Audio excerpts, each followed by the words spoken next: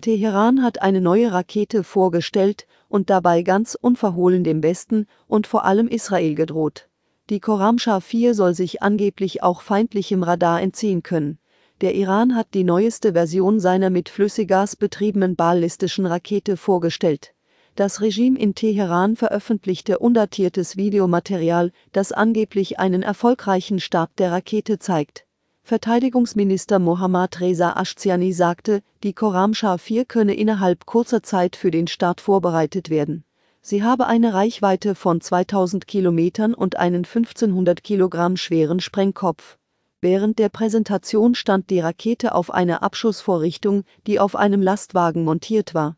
Eine der herausragenden Eigenschaften dieser Rakete ist ihre Fähigkeit, sich der Radarerfassung zu entziehen, sagte der Minister sie sei in der Lage, gegnerische Flugabwehrsysteme zu durchdringen und könne verschiedene Gefechtsköpfe für unterschiedliche Missionen verwenden.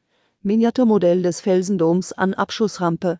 Die Demonstration erfolgte vor dem Hintergrund regionaler Spannungen.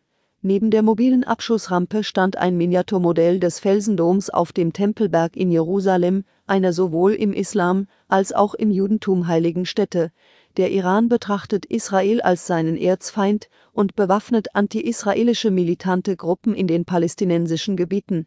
Die neue Rakete wäre in der Lage, Israel zu erreichen. Westen sieht Bedrohung für Nahen Osten und Golfregion. Der Westen sieht im iranischen Militär- und Raketenprogramm eine Gefahr für den Nahen Osten und die Golfregion.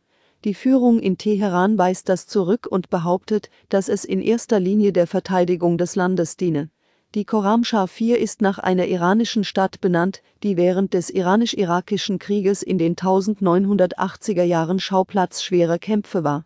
Die Rakete wird auch Kaibar genannt, nach einer jüdischen Festung, die im 7. Jahrhundert von den Muslimen erobert wurde, im heutigen Saudi-Arabien. Es bleibt jedoch unklar, warum der Iran die Rakete Khorramshahr 4 nennt. Öffentlich sind nur zwei andere